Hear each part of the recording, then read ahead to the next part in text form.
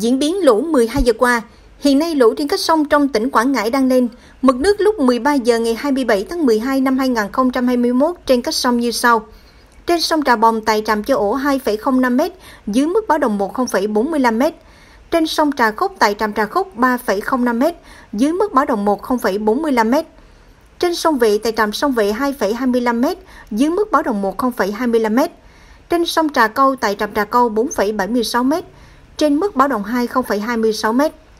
Dự báo chiều và đêm nay 27 tháng 12 đến sáng ngày mai 28 tháng 12, lũ trên các sông trong tỉnh tiếp tục lên. Mực nước trên các sông có khả năng như sau. Sông Trà Câu tại trạm Trà Câu 5,80 m, trên mức báo động 3 0,30 m. Sông Trà Khúc tại trạm Trà Khúc và sông Vị tại trạm sông Vị giao động ở mức báo động 2 đến trên báo động 2. Sông Trà Bồng tại trạm Châu Ổ giao động ở mức báo động 1, báo động 2. Cảnh báo, nguy cơ cao xảy ra lũ quét sạt lở đất ở sườn dốc ven sông suối tại các huyện miền núi như Trà Bồng, Sơn Hà, Sơn Tây, Ba Tơ và Minh Long.